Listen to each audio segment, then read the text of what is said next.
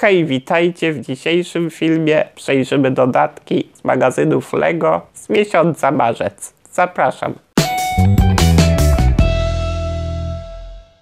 Słuchajcie, tak jak mówiłem we wstępie, dzisiaj przejrzymy sobie dodatki z magazynów LEGO z ubiegłego miesiąca. A dokładnie wybrałem tutaj według mnie trzy najlepsze.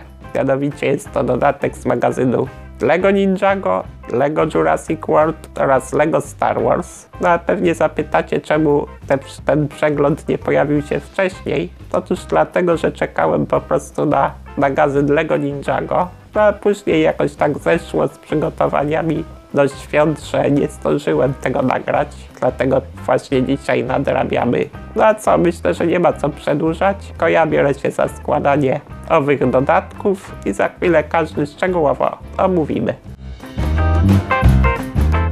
Pierwszym dodatkiem, jaki sobie omówimy, jest to dodatek z magazynu LEGO Jurassic World o nazwie Laboratorium Doktora Wu, którego skład wchodzi oczywiście nasz tytułowy doktor oraz wyposażenie jego laboratorium, a także jajko oraz mały raptor, od którego może zaczniemy.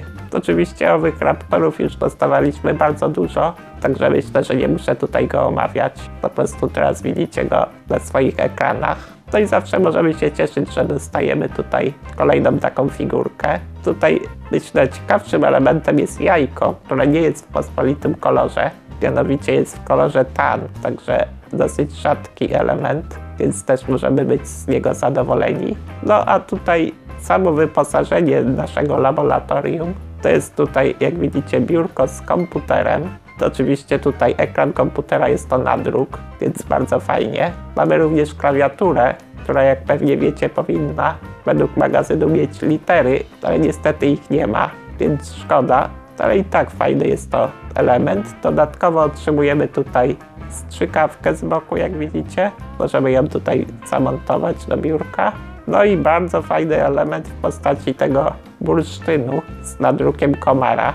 To oczywiście historię, kto oglądał film, dobrze zna, więc nie będę tutaj jej przytaczał. Ale bardzo fajnie, że tak rzadki element dostajemy tutaj jako dodatek, bo bodajże pojawił się on tylko w jednym zestawie. No a sama figurka, bardzo fajny nadruk tutaj przodu i z tyłu na torsie. Szkoda, że nie ma nic na nóżkach, ale myślę, że możemy to przeżyć.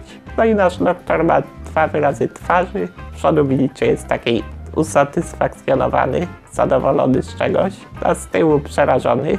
No i dodatkowo ma tutaj włoski. Także ogólnie ten dodatek jest naprawdę bardzo udany, no i szkoda, że nie zawsze dostajemy tak fajne dodatki, ale dobrze, że od czasu do czasu się one pojawiają.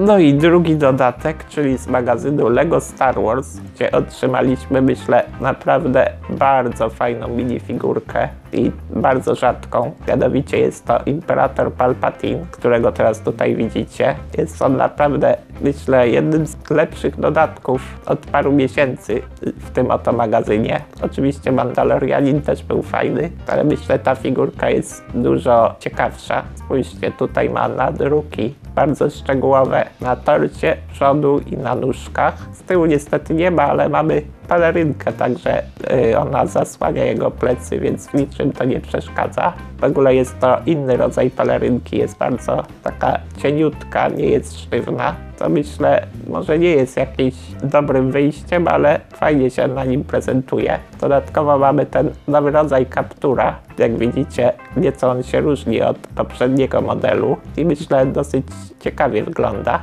No i nasza figurka ma dwa wyrazy twarzy. Oczywiście oba są takie typowym kolorze dla właśnie twarzy Palpatina. Jak widzicie z przodu jest uśmiechnięty, a z tyłu naprawdę wściekły. Pewnie musi z kimś walczyć, tak mi się wydaje. No i właśnie do walki otrzymujemy miecz świetlny, ale nie jest to typowy miecz. Jak widzicie ma złotą rękojeść, także różni się od innych mieczy i fajnie się z tą figurką prezentuje. Także ogólnie ten dodatek jest, myślę, jednym z lepszych dodatków w tym roku.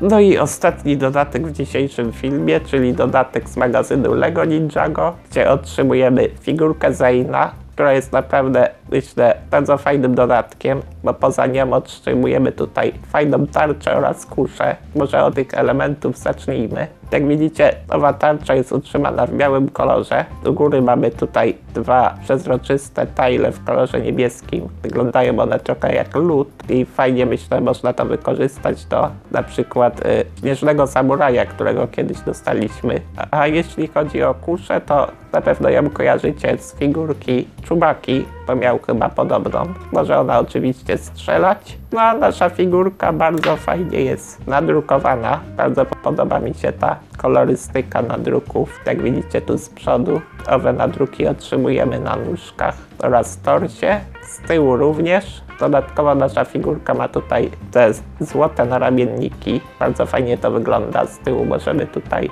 podczepić jakiś element i może mieć coś na plecach nasza figurka. Też fajnie to wygląda, że z jednej strony mamy inną rękę i z drugiej złotą. Fajnie się to prezentuje. No i standardowo mamy tutaj srebrną główkę, srebrne włosy. Nadruk jest tutaj z przodu na główce, a z tyłu mamy to takie jakby robotyczne oko. Także ogólnie figurka jest naprawdę bardzo fajna i myślę, że można ją tutaj wykorzystać do jakiejś na przykład zimowej makiety. Podsumowując, miesiąc marzec pod kątem dodatków był naprawdę bardzo udany. Oczywiście na pierwszym miejscu powinien się tu znaleźć dodatek z magazynu LEGO Jurassic World, bo poza figurką dostaliśmy do niego, dostaliśmy w nim naprawdę ciekawe akcesoria. No figurki ze Star Wars i Ninjago to naprawdę... No figurki ze Star Wars i Ninjago myślę, nie trzeba tutaj nic komentować, są naprawdę bardzo udane, szczególnie tutaj Imperator Palpatine. Także możemy się cieszyć, że owy miesiąc był naprawdę udany pod kątem dodatków z magazynów. A na dzisiaj to tyle. Trzymajcie się i do zobaczenia.